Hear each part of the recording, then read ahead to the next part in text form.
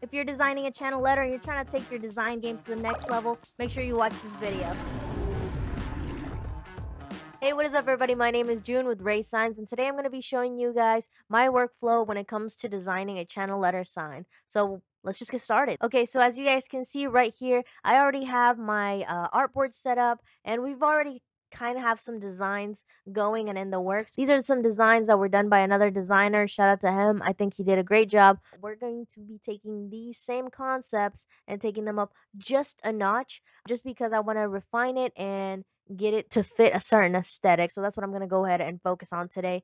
And the first thing that I always do when it comes to any sign or sign redesign is set up a mood board. And as you guys can see right here, I kind of have some different sign samples that I liked and I think will fit the mood. The name of the business is the Goop, the Groovy Groomer. I almost said the Gooby, but anyway. And when it comes to sign design, you really want to base that sign, that custom piece of work, you want to base it off of the business itself. So whatever aesthetic they're going for and whatever brand they're trying to build, you want to make sure that the sign, everything about the sign, the font, the colors, everything matches up to what they are trying to do with their brand. As you guys can see, I got this mood board set up. And like I said, this is a dog groomer. It is going to be a very fun project. So I'm leaning towards like a really fun, whimsical font and style and I really like this type of project because you can really show off some cool design tricks overall your creativity can really shine when it comes to projects like this when we have a little bit more room for interpretation.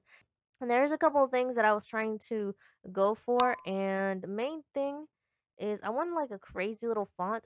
All right, so whenever I'm looking for a font, I always like to go to dafont.com just just as a starter website. There are a lot of fonts that you can use all over the internet, but I can either go to dafont.com or sometimes I like to go to envato.com if I want to spice it up just depends whatever it is but uh, i think i'm actually going to go to envato because i did look through dafont. let's go and we are going to look for something i don't know i'm going for either like a like this fuzzies font or like this wheaties font so a little bit on thicker side but bubbly and with envato elements what you can do is you can just go like bubbly bubble font or something like that so you can kind of see how we're already getting those results. So I'm going to go ahead and um and pick these two fonts.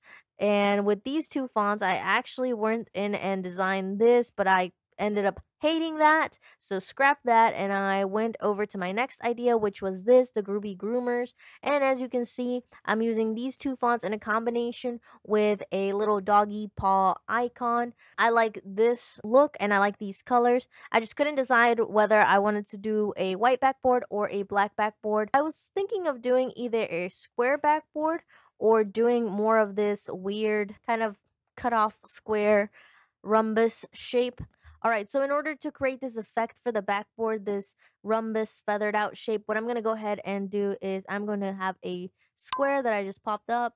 And as you guys can see, those four corners are highlighted. Um, well, they're not highlighted right now, but one of them gets highlighted. It turns a dark blue color. What I'm going to do is I'm going to select the two corners that I want to kind of bring in and taper off. So I'm going to go ahead and select this one and this one in the bottom and as you can see they're both dark blue so they're highlighted and then simply what I'm going to do is slide my mouse inwards and that is going to taper off the corner. That is pretty simple and that is a nice little trick that I like to use. So there's other little things quick cool neat finishes you can do to your corners. So in order to do that I believe you have to go into shapes and then in shapes you can click on the corner type and right here, it displays each corner. So you see it has a round shape and then it has a round shape and then it has these square shapes because I have obviously square corners on those ends. But let's go to this top corner. And as you can see, you can switch around the corner type to different ones. And what do we have here? Round, inverted round, and chamfer. So whatever that means. So yeah, you have different corner types, different corner styles. So that's a quick little neat trick that you can implement into your sign design and it's not just plain and boring. So signs don't have to be boring. That's the main thing that I want you guys to take from all of these design lessons is that signs don't have to be boring.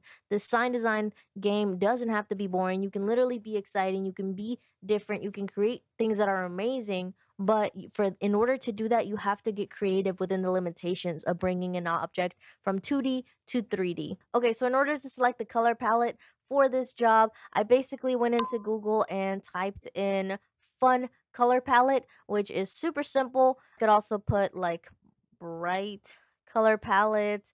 I was going for more of a feeling whenever I'm doing a design and whenever I'm selecting the colors. I'm trying to type in keywords and feelings to associate with this particular business and determining the color really depends on the brand and what the business is trying to sell, what products they're trying to sell, their customer base, what brand they are trying to build or already have built. So it really depends on the customer and the client. Colors can convey a lot of strong emotions, whether it be consciously or subconsciously. You need to be paying a lot of attention to your color selection. Another tip that I would give you um, is that you want to make sure to have one of these, which is a color swatch book and this color swatch book basically gives you different colors um of different materials and obviously when you are making signs in particular materials are super important and what you see on the screen cannot necessarily be translated into a color on a sign.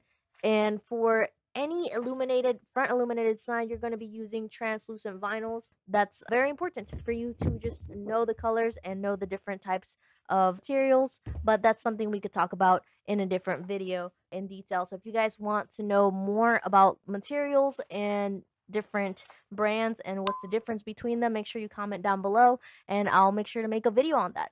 And now I am actually working on the second option, which is going to be something kind of a little bit different. I'm thinking that I still want a backboard and I still want to maybe use the same colors. I might switch them around to a little bit of like more pink and purple colors.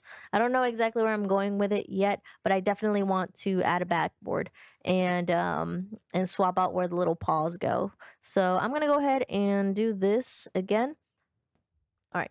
So for this option for backboards, here's another tip that I have when it comes to these. This is actually going to be a different style of backboard. It is going to be like a cut to shape backboard. So something this style is what we are going for right now. So in order to make those backboards, here are my top tips. My top tip number one is going to be the stroke width. So these start off with obviously, I'm going to take that off. So these start off like this. The basis of this has to be your base of channel letter or your base design. Right now, this is what the channel letter uh, setup that I'm going for is going to look like. So the groovy on top, the groomers, and the little paws. So once I know that that's going to be the channel letters, then I'm going to build the backboard based off of that. And to do that is I'm going to take this design that I already made and I'm going to increase the stroke. To, for me, I like to increase the stroke anywhere between 3 point, uh, 0.3 and 0.5.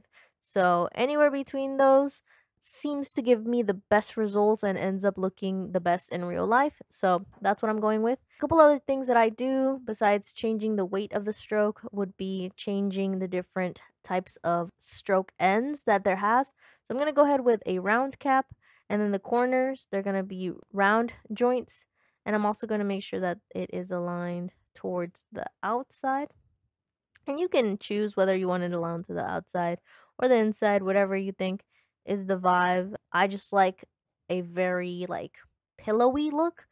I might not use it for this one necessarily because the letters are already so round that I don't need to pillow it out more. But if you have a more square letter, then you might need to go ahead and align it towards the outside.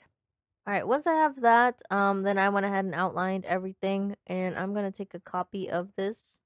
I can copy it and I already outlined it, so I can't do that. But this is already a copy. And what I'm going to do is I'm just going to remove the stroke from that copy and go in, place it up top like so, like this. I'm actually going to go ahead and group this and then group that so it doesn't mess up whenever I try to align it. Align it like so, like that. And then I'm going to go in and choose my proper colors. Boom. There we go. And then in real life, um, I'm not going to have all these open areas in the background just because I feel like it looks better when those areas are closed off and there are no gaps in the backboard because that allows for better distribution of the backlight if we're going to add backlight. So I am going to go ahead and think ahead like we are going to add backlight. All right, we can go ahead and pop that onto the building just like that. Okay, so I've been working at it for a little while now, and this is what I came up with. Uh, so again, this is the option one, this is option two, and option three, I wanted to do more of a simple channel letter on a raceway, and this is what I came up with for that. I'm going to go ahead and add a little uh, raceway to the back of it, so we kind of have an idea of where those, um, where that raceway is going to be at. Okay, so after working on it a little bit more, I'm going to show you guys the different options that I have created so far. So I have this one right here, which is basically going to be a channel letter with a custom cut backboard. Um, I really like the little paws on here. It looks cute and adorable, which is always good. All right, for our second option, we have this sign right here, which basically is going to be a another custom cut backboard. And this top part right here, I actually want to make this cut out. So uh, we've done a couple of signs like this before. And basically this part right here, where it says groomery, that's going to be our channel letter sign. And this part is going to be reverse cut. And then we have a more simpler option, which is of course going to be our standard channel letter on a raceway, as you can, can see right here. And um, I just kind of chose this little funky letter for our letter set. And then I also put a pill shape up top. Just keeping it simple. I think that gives us three options. And always, whenever you're creating designs for a client, you want to make sure you give them more than one option to choose from, whether it be different styles, different colors, and things like that. Personally, I like to give them completely different options at different price tier levels and they're all completely different as far as aesthetics goes but yet they are still within that same like feel and vibe so whenever I'm designing these signs, that's really what I'm going for. And I'm going and trying to support the brand that the business is already trying to build. So think about that. There are a lot of things to think about when you are designing signs. So just expect a lot more of this style of videos. Again, my name is June with Rey Signs, where we don't just build signs, we build brands. If you have any questions, make sure you leave them in the comment section below. Also, if you want to see all the behind the scenes and all the cool stuff we do here at our shop, make sure you guys follow us on Instagram, TikTok, and that's going to be it for today. Make sure that if you guys learned something, give this video a like, and that's it for today. Peace out. I don't play none. I don't diss. Don't say none. I go swish. That's a name one.